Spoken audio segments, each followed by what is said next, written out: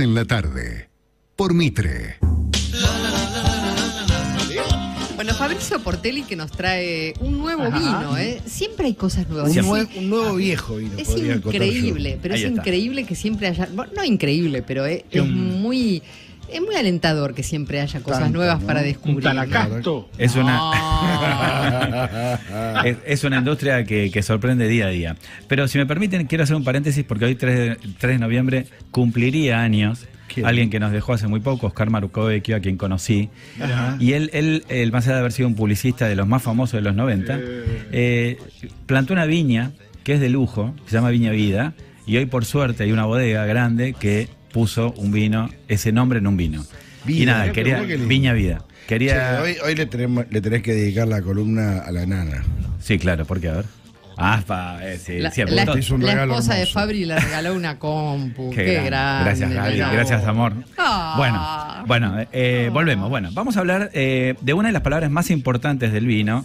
La hemos nombrado varias veces, pero no, siempre, siempre es bueno recordar. La palabra sería terruño. Acuérdense que eh, los franceses le dicen terroir, ¿sí?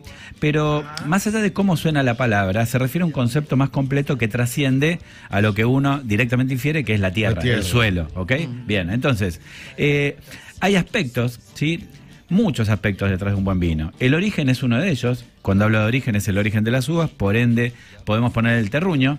Ese origen puede ser más pequeño, ¿sí? La, la mínima expresión sería parcela o block en inglés, ¿ok? Bueno, vos nos has contado que hay No. un vino que se hace en, en una hectárea y otro Sí, al lado y que distintos. son Es distintos. justamente por eso hay vinos de parcelas, ¿no? Pero, pero la tierra no es la misma. No, porque Ah. pensá que, que- que el suelo es muy heterogéneo porque se hizo de aluviones.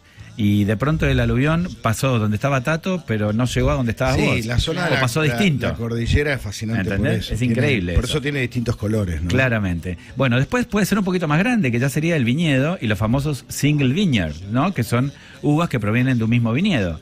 Acuérdense que en Argentina los viñedos suelen ser grandes, si bien hay fincas chiquitas de 4 hectáreas, 5 hectáreas, también hay fincas enormes de 400 y 500 hectáreas.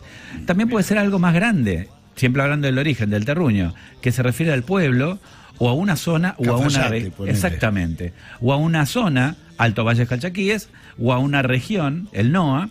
Y si bien también puede ser una provincia o un país, suponete Salta, Argentina, por, por seguir tu ejemplo, eh, eh, claramente ya hoy por hoy esas dos referencias son como muy genéricas, Claro. porque la diversidad y la evolución de los vinos ya te obliga. Es cierto que una botella eh, de vino argentino en cualquier mesa del mundo, lo primero que hace la gente es mira y ver de dónde es, ¿no? Si no reconoce la etiqueta.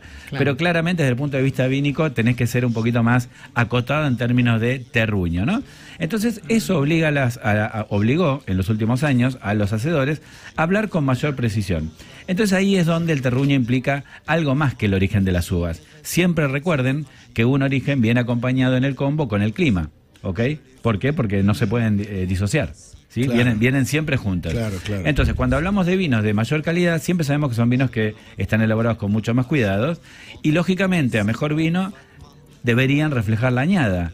¿Cómo es eso? Y si una añada es caliente, el vino va a ser más maduro y más cargado, y si una añada es fría, el vino va a ser un poquito más tenso y más fresco. La añada es la temporada. La añada, claro, viene a ser la cosecha, Ah. ¿entendés? A ver, ¿cómo es si hace, si ponerle que este... Por ejemplo, 2020. 2020 ¿Hizo una- frío o no? ¿Hizo calor? ¿Fue un año de calor o de frío? Bueno, una cosa es como es todo el ciclo y otra cosa es en el momento de Ah. cosecha, que es lo fundamental.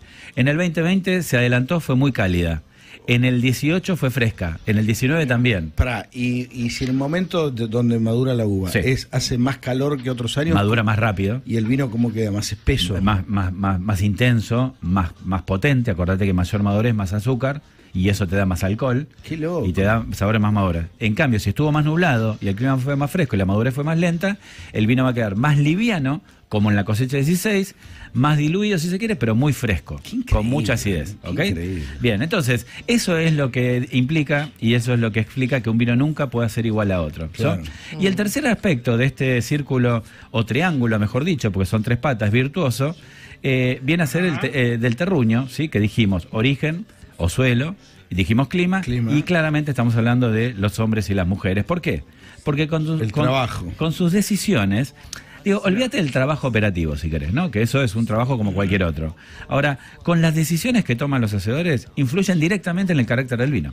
Como ¿sí? la mezcla de las uvas, La- cuándo la sacarlas. Cómo podarla, cuándo cosechar, cómo elaborarla, si la cría en madera o si no la cría. Entonces, hoy estamos brindando con los nuevos varietales de Fabre Montmayou, que, es, que supo ser la primera Claro. bodega boutique argentina. Yo me acuerdo cuando irrumpió, era como el vino. Fíjate ¿eh? que vos vas a, vas a Montañés. reconocer la etiqueta, está jornada, cambió Sí, un poquito, ¿viste? Pero la reconociste al toque. Sí, sí, Bien, sí. bien. Bueno, a ver, entonces, hoy por hoy la línea varietal se llama Terruño, ¿sí?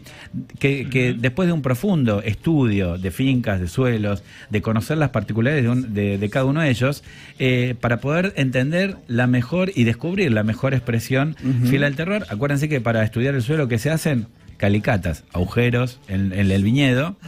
Acuérdense, de, de uno por dos de, de ancho y por dos de profundidad para ver el perfil del suelo. Entonces, cuando vos ves que en una parte del viñedo la uva se comporta distinto a igualdad de variedad que otra, haces un pozo y te vas a dar cuenta que el suelo claramente es distinto y a partir de ahí lo tratás diferente al viñedo, ¿no? Qué bárbaro. Eh, de esta manera, eh, Hervé Fabre, que, que fue bueno precursor en esto de las bodegas boutique, él es francés, pero está instalado acá en la Argentina, o sea, ya es más argentino.